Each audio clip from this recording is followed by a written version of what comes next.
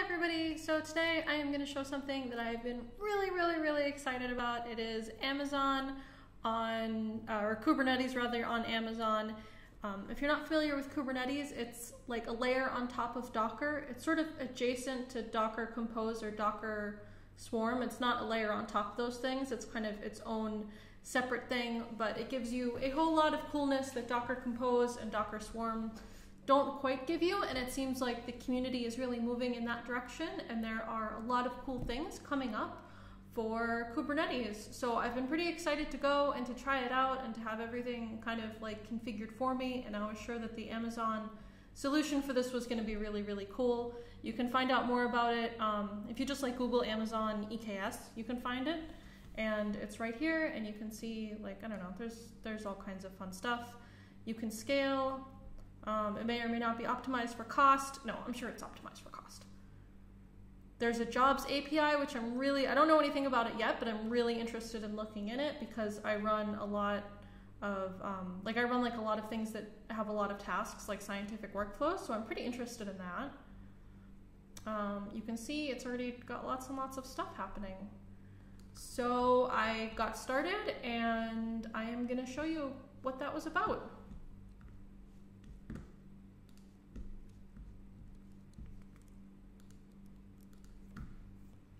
Okay, so now let's get started. All right, so I have a really quick README. It is basically the same thing as the official documentation, but I like, um, I don't know, I like just kind of making my own resources because I find it really helps me to learn things.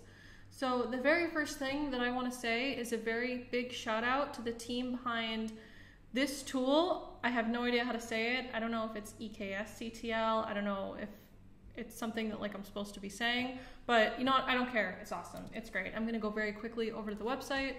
Um, I don't know. They have like this cute little icon, which is pretty fun.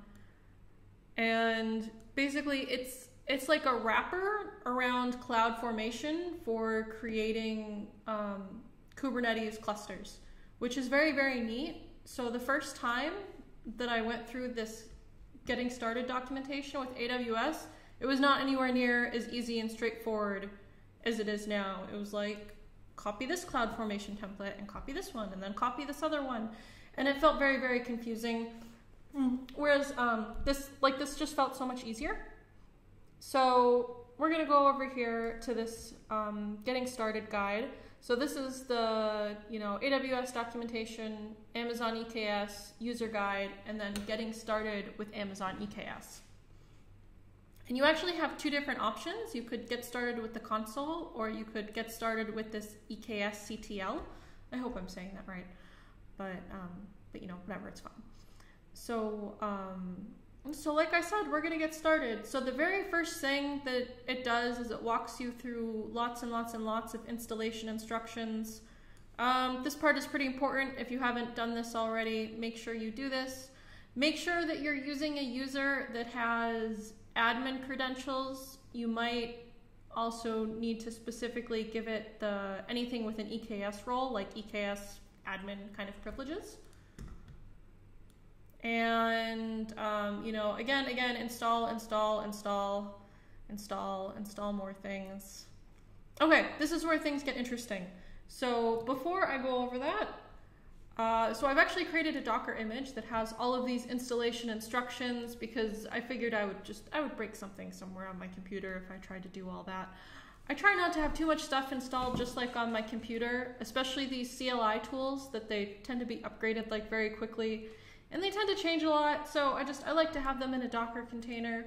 It's right here. I'm gonna give the link uh, in the notes on how you too can get the Docker container, right? So it's not it's not too complicated. It's pretty much exactly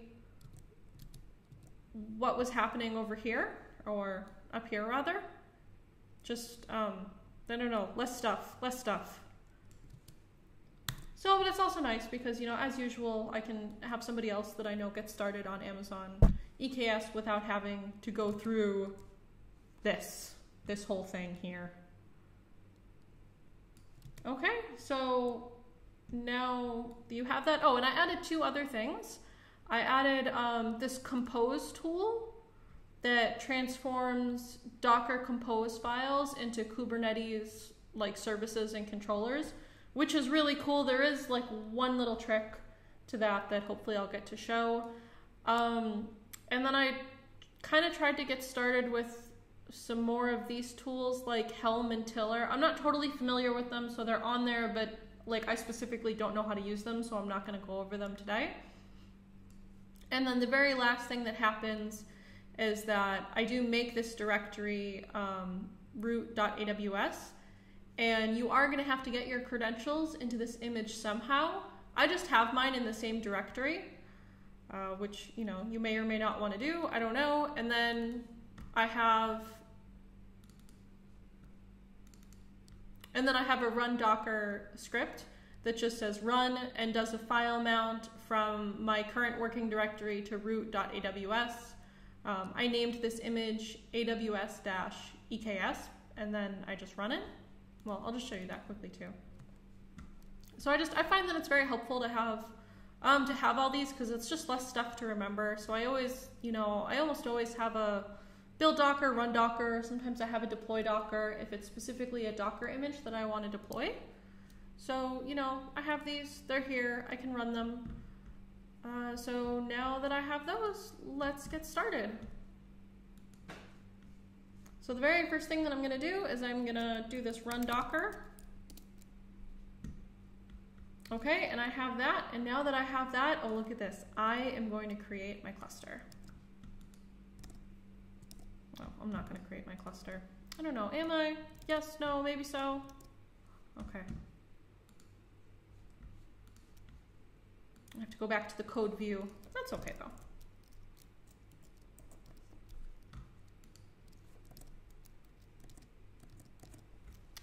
Man, what is what is happening?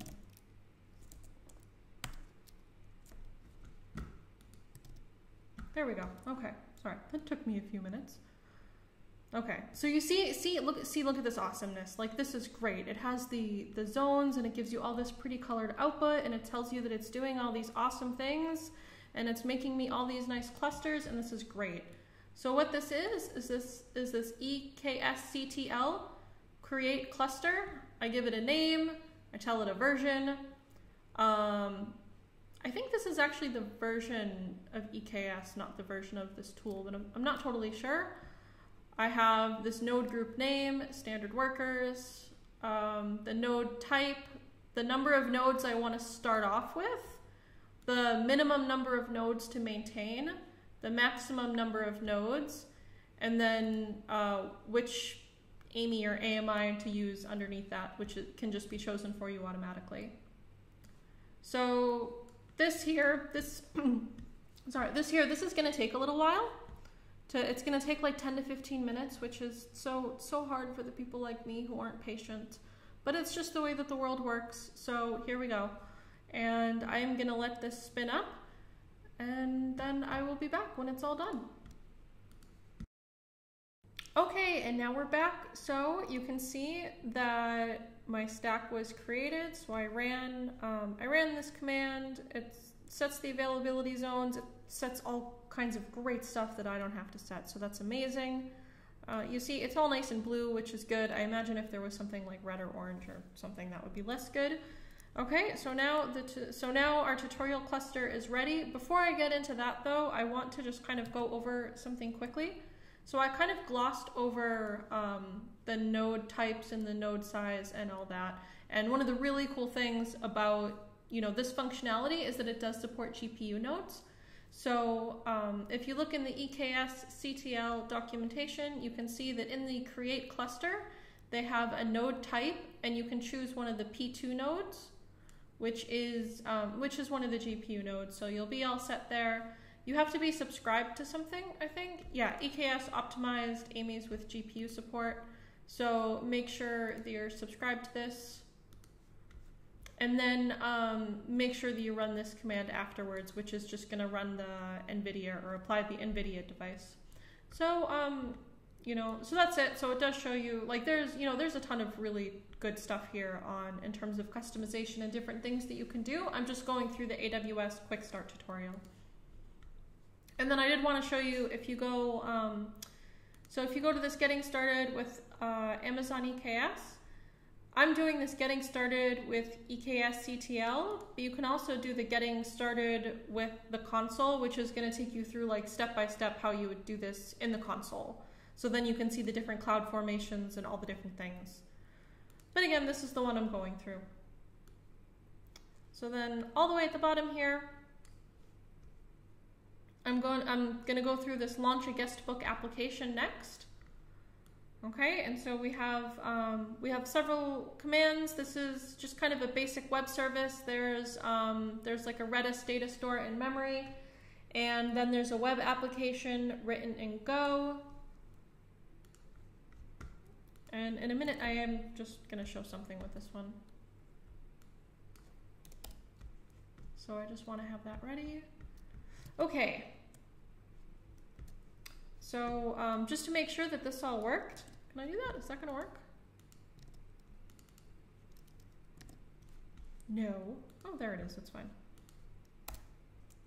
Okay, so you should be able to run this kubectl get svc, and um, and then you'll get that you do have a cluster cluster down here.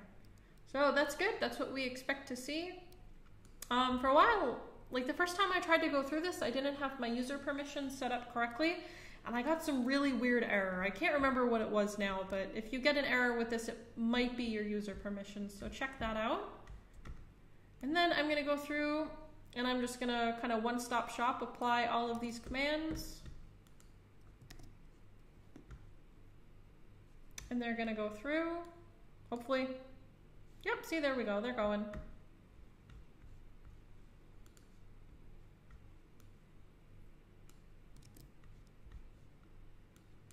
So they're not quite instant. I said that they were instant. They're not quite instant.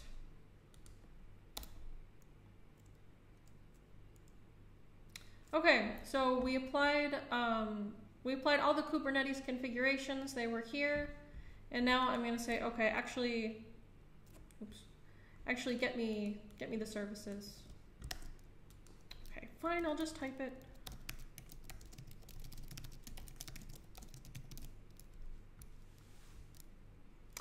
Okay, and then you can see here that we actually have an IP address. Okay, it comes in right here and it's being served on port 3000.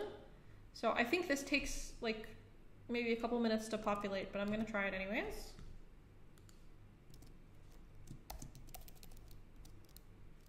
Okay, so this site can't be reached.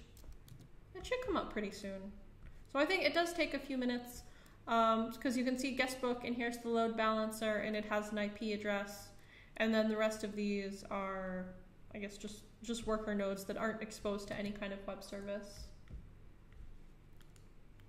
So um, one thing to note is that if you use the Kompose to uh, to translate your Docker compose files to Kubernetes services and controllers, one thing is that the syntax for the specification port is a little bit different because you have this ports um, 3000 HTTP server, and then that's how the load balancing happens, and that's how you get you get it served to the outside. I forget exactly what the syntax is otherwise, but it is it's a little bit different, so that's just something to keep in mind.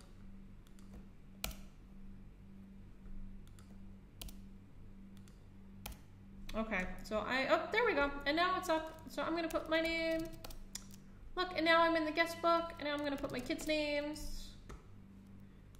Rowan and Lena, we're all going for a wonderful beach vacation someplace. I don't know where, but we're gonna go someplace.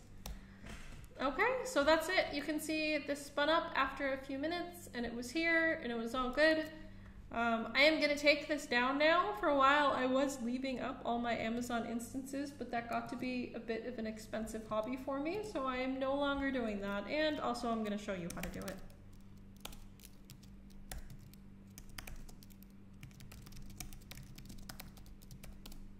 Okay, so I'm going to delete the cluster.